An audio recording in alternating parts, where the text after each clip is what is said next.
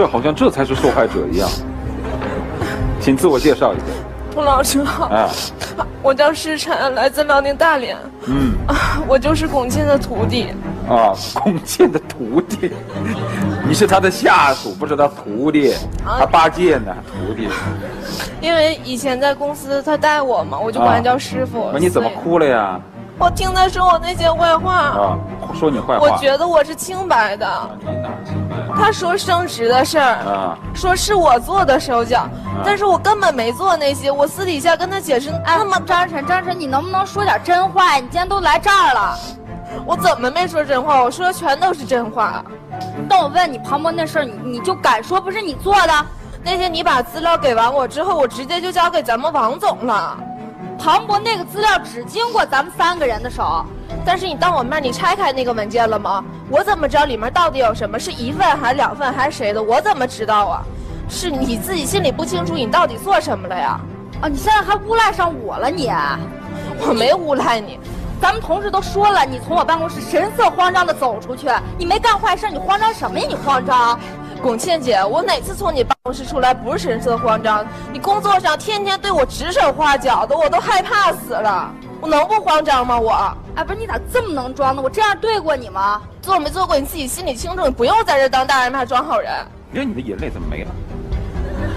被他气的，装的呗。我被他气都给气没了，我还哭什么呀？我。我说你连装都不会装，你行吗？你装给我看看，你会装吗？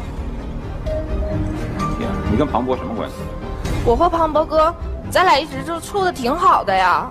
但是在公司里，咱们有规定，没办法把这关系说那么明白。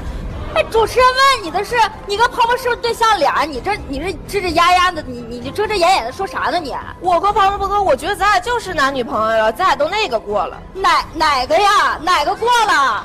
咱俩一起单独吃过饭，单独看过电影，我还拉他手了呢。哎，人家还没承认你是他女朋友，你这当时那屁颠屁颠跑过来跟我说啊，庞博哥是我男朋友，那个你以后离他远点。那那个是他主动向我让我跟你说的，我当时也说了，我说龚倩姐暗恋你这么长时间了，公司上上下下都知道，我说给龚倩姐点面子，毕竟我是你你的实习生嘛。但是他就是不听啊，非得让我跟你说，我都拦不拦不住。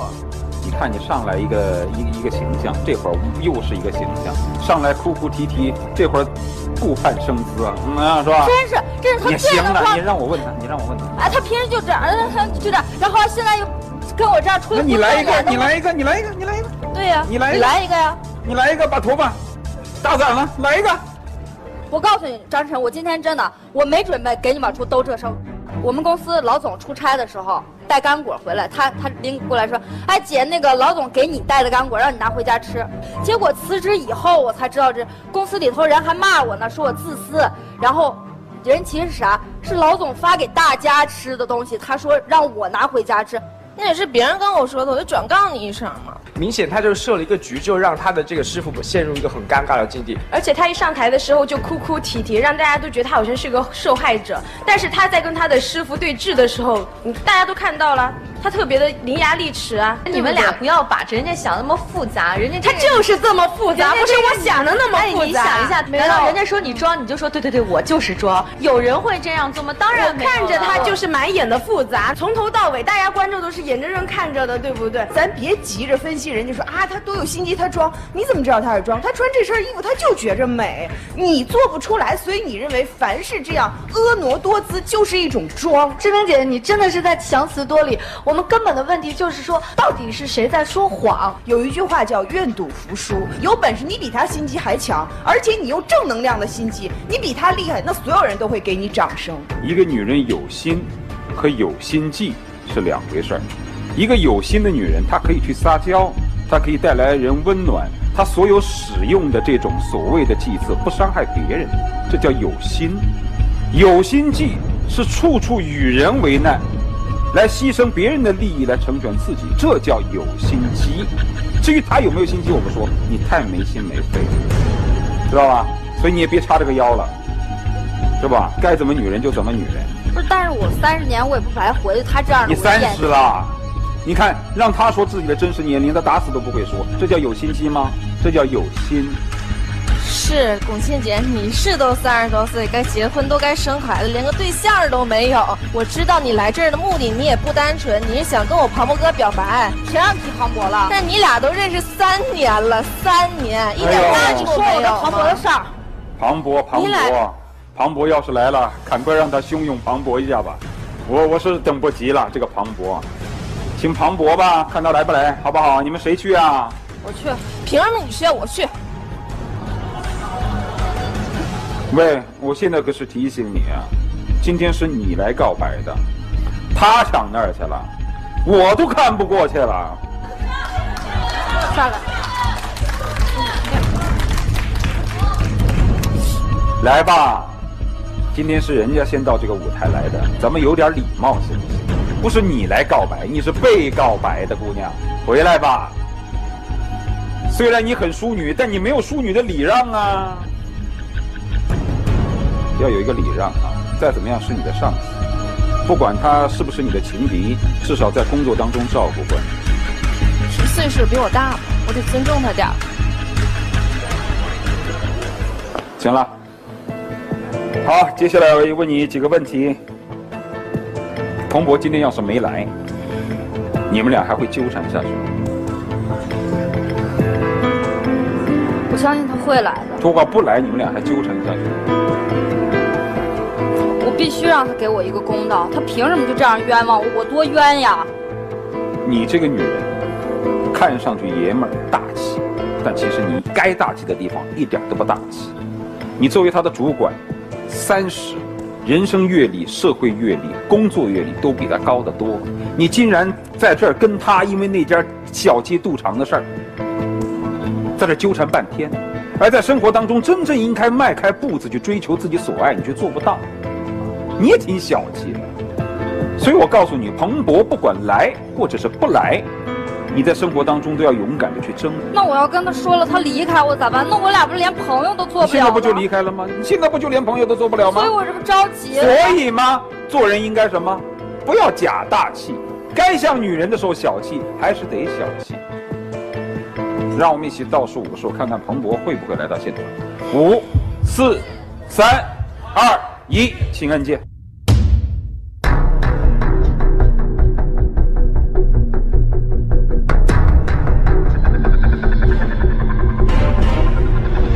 副主管龚倩与实习生施晨，两个女人的硝烟中，燃烧的是职场的竞争，更有对庞博的爱情。为了冷静面对二人，庞博来到现场后，却选择在第二现场静观。那么，在办公室升职谜局中，意外落选的庞博为何会来到现场？这场办公室升职谜局，到底是龚倩的猜疑，还是施晨的精心安排？而当事情真相浮出水面后，庞博会做出怎样的选择？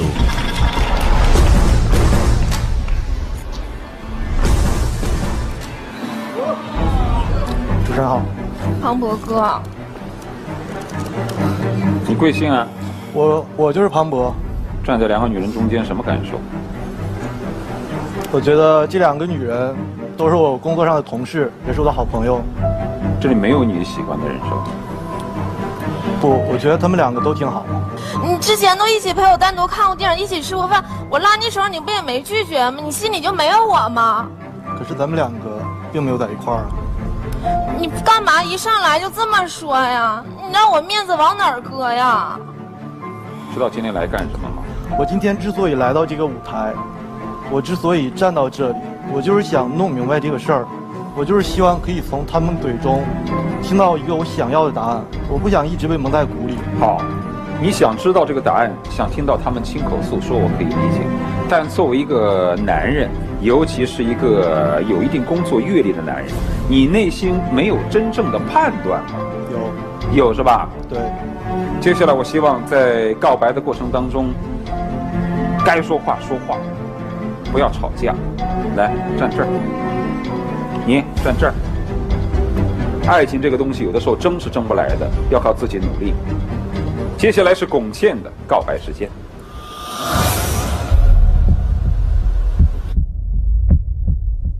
世晨，今天来，我发现你跟以前我认识那个世辰不一样了。我不知道你心里有什么话，但我知道你肯定想说出来。我是有没话有话没跟你说。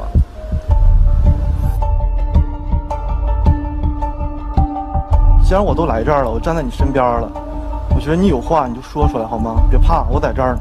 胖猫哥，我就是想和你在一起。其实你知道，我今天来主要目的，我就是想弄明白升职那件事儿。我只是想来，想问你一句话，那件事儿跟你有没有关系？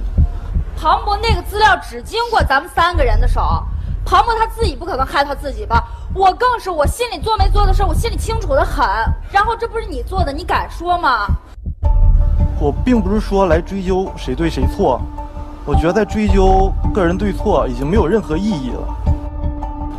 我只是想从你这儿得到一句答案。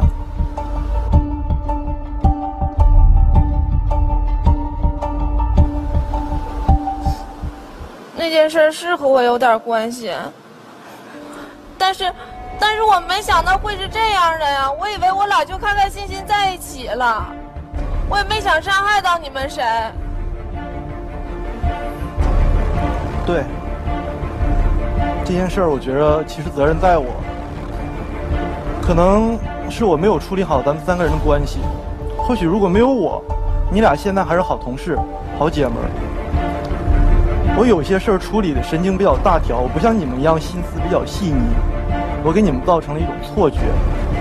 庞博，我今天就把话撂这儿，你就不跟我好，你也不许跟他好，没有为什么，你听见没？你看他干嘛呀？不是。他就他哪儿比我好了？是我是三十了，我是男人婆，但你你你不知道我呀，你就喜欢这样撒娇卖萌的，太让我失望了你。我天天上午给你做文件，下午给你做文件，天天你加班到几点我就加班到几点，我不就想陪着你吗？咱们每个礼拜五说好一起喝酒，之前再大的误会、再大的矛盾，你都去，你从来都没违约过。现在呢，你就因为这件事，你多长时间没去跟我一起喝酒了？你多长时间没理过我了？我去喝酒，我就对着一个空凳子、一个空杯子在那说话，老板还问我：“哎，庞博呢？庞博怎么没来呀？”你要我说什么呀？我说庞博让车撞了，还让别让别的女人给骗跑了呀？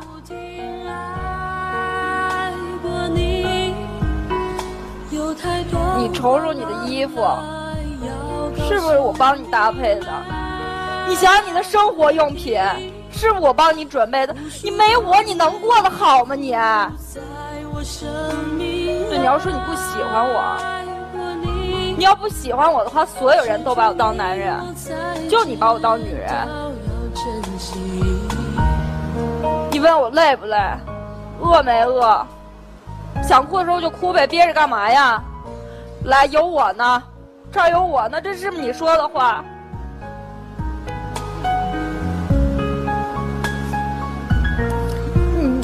你一大男人，你没有点辨别能力吗？谁对你好，你看不出来呀？你，龚倩，我谢谢你对我的肯定。我不知道你这段话憋在心里多长时间了。从咱俩一起进公司到现在，一路走过来已经三年了。第三年，有哭过，有笑过。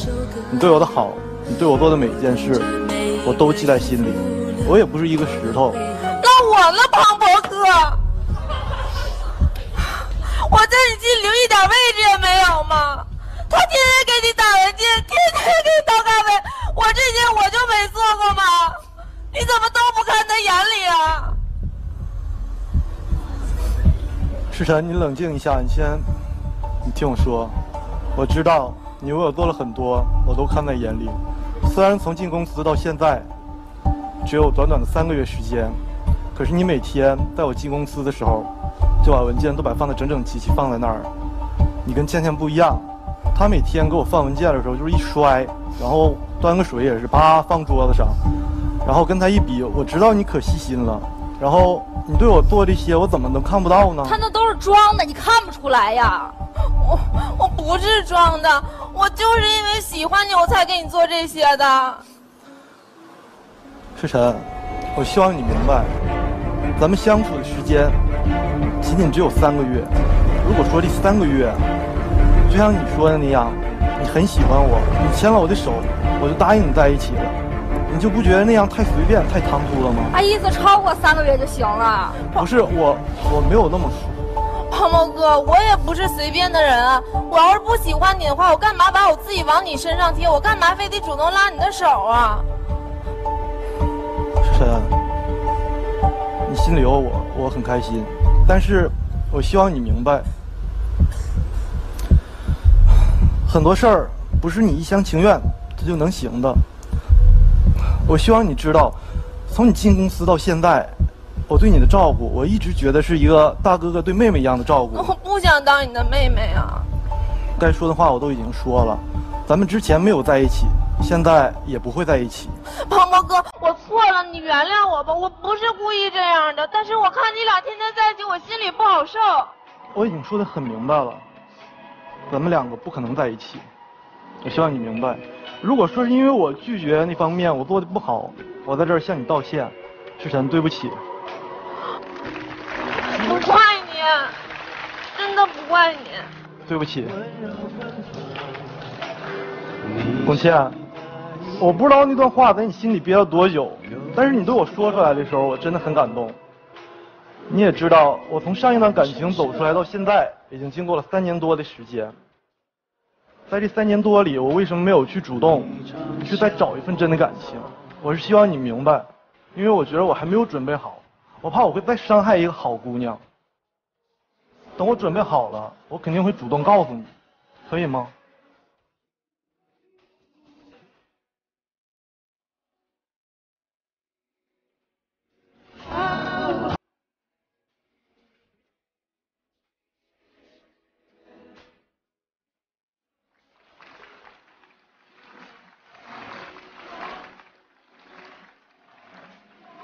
倩，咱们走吧。